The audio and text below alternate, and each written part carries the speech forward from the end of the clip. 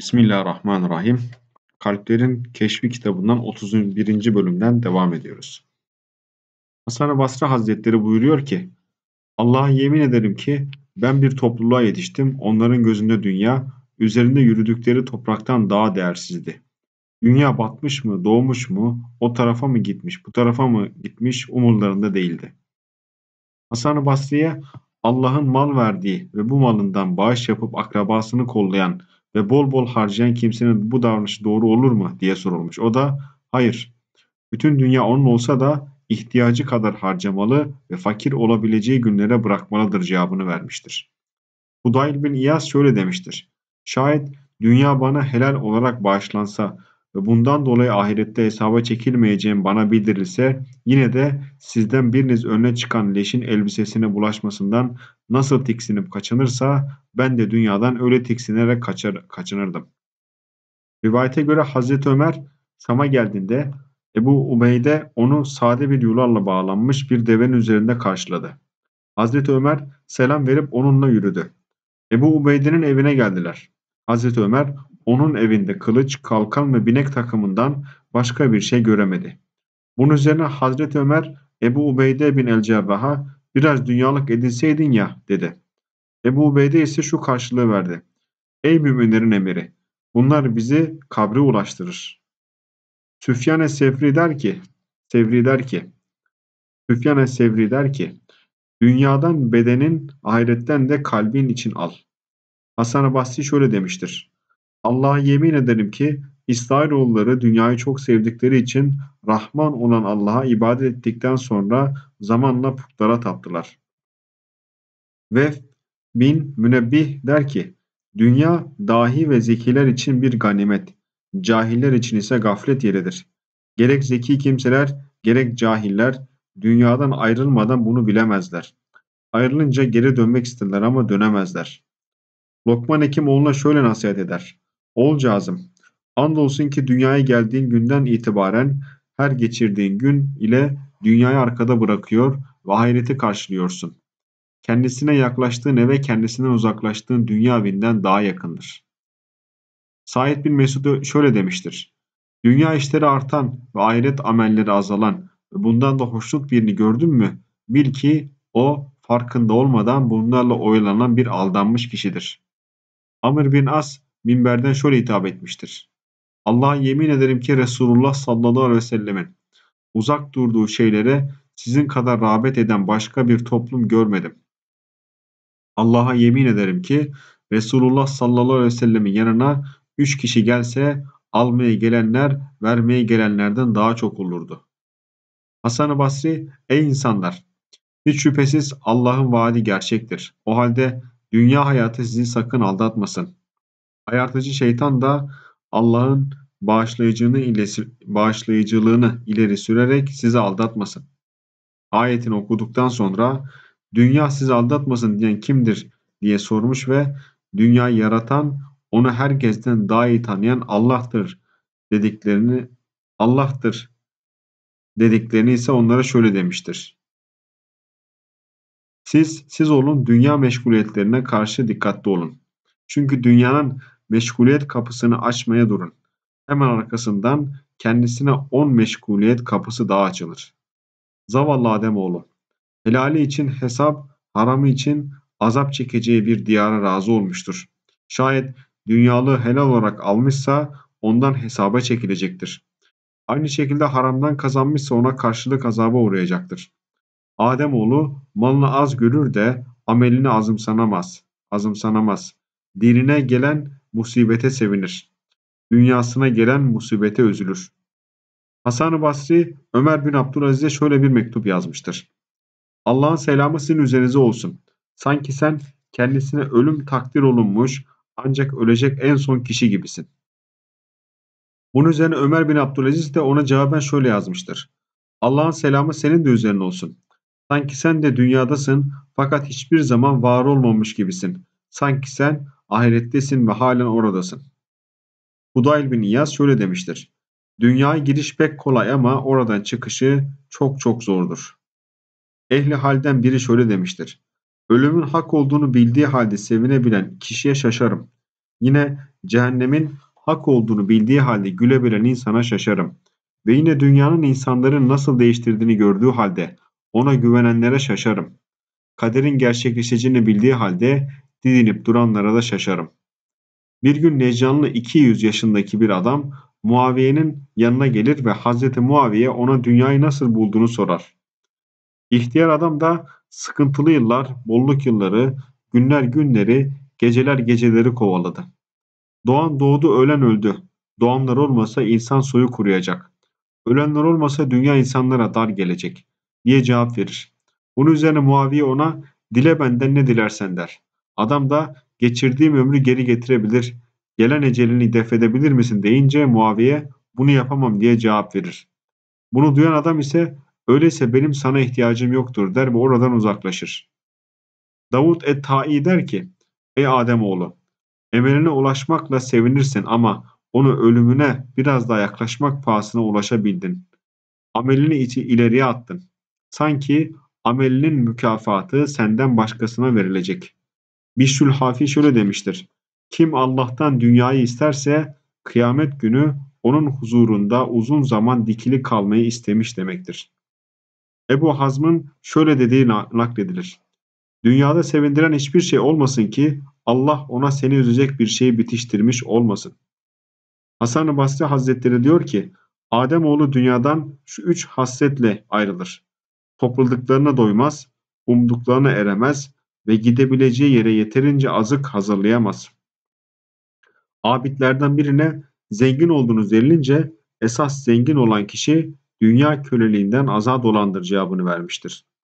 Ebu Süleyman Ed-Darani şöyle demiştir. Dünyanın arzu ve isteklerine ancak kalbinde ahiret düşüncesi olanlar sabredip karşı koyabilir. Malik bin Dinar bir gün şöyle demiştir. Dünya sevgisi üzerine hepimiz uyuştuk. Birbirimize hakkı tavsiye etmez, kötülüğü yasaklamaz ve bu konuda Allah bizi böyle bırakmaz. Allah'ın bizim üzerimize nasıl bir azap indireceğini keşke bilseydim. Ebu Hazim der ki, Dünyayı küçümseyiniz. Allah'a yemin ederim ki dünya yalnızca ona önem vermeyenlere yaratmıştır. allah Teala bir kul için hayır dilerse ona biraz mal verir. O malı tüketince yine verir. Dünya onun gözüne değersizleşince ona bol bol verir.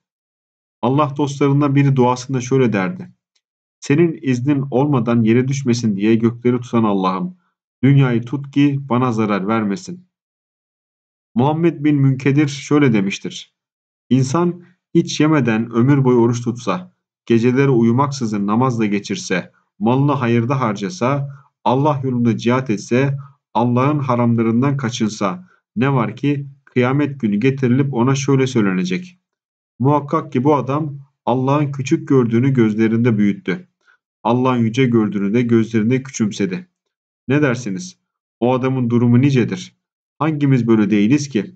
Bir günah ve hata işlediğimiz halde dünyayı gözümüzde pek değerli görüyoruz. Ebu Hazim diyor ki, hem dünya hem ahiret işleri zorlaştı. Ahiret işlerinin zorluğu bu konuda yardımcı bulamayacağın içindir. Dünya işlerinin zorluğuna gelince nereye el atarsan senden önce günahkar bir kişinin bu işe el attığını görürsün. Ebu Hureyre şöyle demiştir. Dünya gökyüzü ile yeryüzü arasında eskimiş deri bir torba as gibi asılıdır. Allah'ın onu yarattığı günden beri şöyle diyerek nida etmekte. Yok edeceği güne kadar da aynı nidayı tekrarlayacaktır. Ey Rabbim! Bana neden buğz ediyorsun? Allah da ona, ey hiçbir değeri olmayan, sen sus diye cevap verecektir. Abdullah bin Mübarek der ki, dünya sevgisi ve günahlar kalpte yer etmiştir. Bu durumda ona hayır ne zaman ulaşır ki? Vehbin Münebbih de şöyle söylemiştir. Dünyalık bir şeye kalpten sevinen kişi hikmeti bulamaz. Kim de azgın isteklerini ayaklarının altına almışsa şeytan onun gölgesinden bile kaçar. Kimin ilmi kötü, isteklerinin önüne geçerse muhakkak o kazançlı kimsedir. Bişri Hafiye filanca öldü denilince o şöyle demiştir. Dünyalık biriktirdi. Ahirete göç etti. Kendine pek yazık etti. Bunun üzerine Bişre ölen adam şöyle şöyle iyilikler yapardı diye saymaya başladıklarında Bişir o dünyalık toplamış iken bu iyiliklerin ona ne yararı dokunabilir ki? Ariflerden biri şöyle demiştir. Dünya bizden nefret ettiği halde biz onu seviyoruz. Ya dünya bizi sevmiş olsaydı ne yapardık acaba? Hikmet ehlinden bir kişiye dünya kimindir denilince onu bırakanındır diye cevap vermiştir. Kendisine tekrar ahiret kimindir diye sorulmuş ve o da onu isteyenindir diye cevap vermiştir. Yine ehli hikmetten biri dünya ile ilgili şöyle demiştir. Dünya bir viraneliktir. Onu imar etmeye çalışanın kalbi daha da viranedir. Cennete gelince o kalkınmış bir ülkedir. Onu isteyenin kalbi ise daha da güzelleşir. Cüneydi Bağdadi şöyle demiştir. İmam-ı Şafii dünyada hak diliyle konuşan müritlerdendir. Bir din kardeşine vaaz etti ve onu Allah ile korkutarak şöyle söyledi. Ey kardeşim! Dünya kaygan bir bataklık ve perişanlık yurdudur. Görkemli yapıları yıkılmaya mahkumdur. Onun sakinleri kabre doğru gitmektedir. Düzeni ayrılığa varır. Zenginliği fakirliğe çıkar. Oradaki bolluk darlıktır. Darlığında ise bolluk vardır. Allah'tan kork. Onun sana verdiğine razı ol. Geçici yurdundan ebedi kalacağın yurduna hazırlıksız göçme. Çünkü senin geçimin yıkılmaya yüz tutmuş bir duvar misali bozulacaktır. Amellerini çoğalt, emellerini ise azalt. İbrahim bin Ethem bir adama der ki, senin için uykuda elde ettiğin bir dinar mı daha sevimlidir yoksa uyanıkken elde ettiğin bir dinar mı? Adam uyanıkken elde ettiğin bir dinar daha sevimlidir deyince İbrahim bin Ethem şöyle demiştir. Doğru söylemedin. Çünkü dünyadan elde etmek istediğin her şey rüyada elde etmek istediğin şey gibidir. Ahirette elde etmek istemediğin şey de uyanıkken ele geçecek şey istememiş gibidir. İbrahim bin Ayyaş der ki, dostlarımız dünyaya dişi domuz adını vermişlerdi ve ona bizden uzak ol ey dişi domuz diyorlardı. Şayet onlar bundan daha çirkin bir isim bulsalardı o ismi verirlerdi. Kabul Ahbar der ki, dünya size öyle sevimli gelecek ki adeta ona tapacaksınız. Yahya bin Muaz Errazi der ki, akıllı kimseler şu üç sınıf kimselerdir. 1. Dünya kendisini bırakmadan önce kendisi dünyayı bırakan kimse. 2. İçine girmeden önce mezarını hazırlayan kimse. 3. Yaratan ile karşılaşmadan önce onun rızasını kazanan kimse. Dünya öyle uğursuzdur ki bırak ona dalmayı, onu temenni etmen bile seni Allah'a ibadet etmenden alıkoymaya yeter. Bekir bin Abdullah der ki, dine dünya ile karşı koymak isteyen ateşe samanla karşı koymak isteyen kimse gibidir. Bündar der ki, dünya çocuklarının yani dünyaya düşkün olanların zühten söz ettiklerini gördüğün zaman bilesin ki onlar şeytanın maskaraları olmuşlardır. Dünyaya yönelenleri hırs ateşi öyle bir yakar ki onları küle çevirir. Kim de ahirete yönelirse ahiret aşkı aratır ve hazır altını sikke haline getirir. Allah'a yönelenleri ise tevhid ateşi yakar da değeri biçilemez bir cevher haline getirir. Hazreti Ali der ki, dünya şu altı şeyden ibarettir. Yenilen şeyler, içilen şeyler, giyilen şeyler, binekler, nikahlananlar, güzel kokular. Yiyeceklerin en değerlisi baldır. Halbuki o bir sineğin dışkısıdır. İçeceklerin en değerlisi sudur. Ama onu iyi kötü herkes içer. Giyeceklerin en değerlisi ipektir. Halbuki o da bir böcek dokumasıdır. Bineklerin en değerlisi attır. Onun da üzerinde adamlar öldürülür. Nikahlanan en değerli varlık kadındır. Halbuki o işeme yeri içinde işeme yeridir. Kadın en güzel yerlerini süsler ama yine de onun en çirkin yeri arzulanır.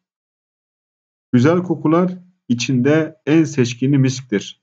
O ise ceylandan elde edilen kandır.